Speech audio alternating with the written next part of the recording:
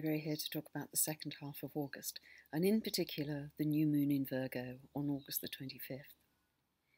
Well, the background to this period is that we still have six planets in fixed signs. We have the Sun, Mercury, Venus, and Jupiter in Leo, and we have Mars and Saturn in Scorpio. So they give us a lot of determination and tenacity to really achieve our goals. So that's fantastic. But also, there's something really quite special happening on the 18th of August, that's next Monday, when Venus, planet of love, comes into conjunction with Jupiter in Leo. And this is a kind of love bliss because Leo is very much about big heart energy. Venus, as I've said, is planet of love, and Jupiter expands everything it touches. So, really enjoy that day if you're in a relationship or would like to be involved in a relationship. And then we move on to the 23rd to the 27th of August, and this is quite complex energy over this period because from the 23rd to the 27th, Mars comes into conjunction with Saturn in Scorpio, and they're very different principles, Mars and Saturn. Mars is, is energy and enthusiasm, and Saturn is resistance. In the world, it could be anger and aggression meeting authority. So, in your own lives, it could manifest either as intense frustration, intense because it's in Scorpion frustration because you've got all this energy wanting to go somewhere but being held back by Saturn. Or we could use the energy more positively and combine that symbolism to have purposeful, cautious action. That's a very good use of, of those few days.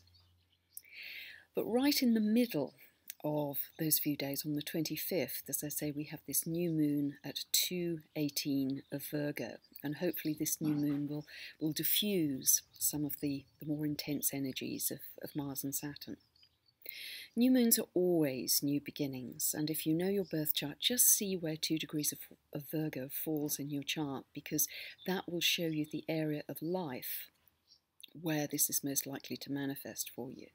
And with new moons, the few days up to the, and including the day of the new moon, which will occur exactly UK time, three o'clock, um, just after three o'clock in the afternoon, three twelve. It can be a conversation, it can be uh, a meeting, it can be a phone call, it can be an opportunity, it can even just be a thought or an idea that sparks something that actually is a new beginning to something new in that area of your life. So just really watch for these as they come up every month because in in seeing the connections we're starting to observe patterns that underlie our life and give our lives greater meaning. And that's really what astrology is all, all about. So, people who um, are born between the, the 19th to the 23rd of February, the 21st to the 25th of May, the 23rd to the 27th of August or the 22nd to the 26th of November will fill this new moon most. Now, Virgo as, as a sign is all about purification. It's about giving service to others. But this new moon has a particularly spiritual quality about it. At the new moon, at every new moon, the sun and the moon are, are always together. But this time around, they're being opposed by Neptune.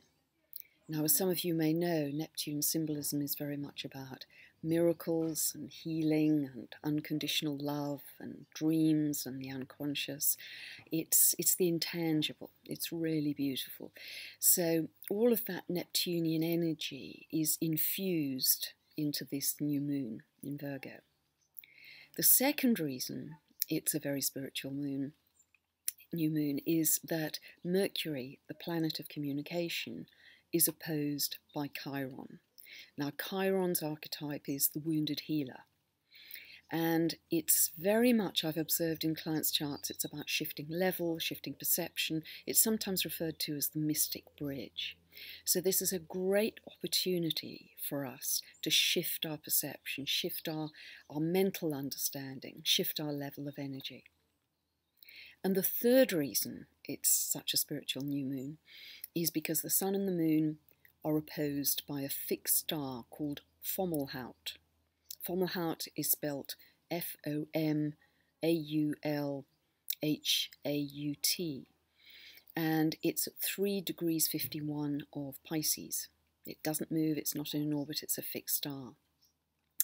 And in the myth of ancient Persia and Egypt, there were four royal stars that guarded the four directions of the compass.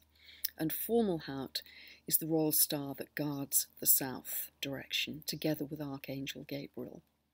And Fomalhaut is very much known as a spiritual teacher in, in mythology as well. So for those three reasons, you know, this is a wonderful opportunity at this new moon for us to shift our energy, shift our perception, shift our state of being.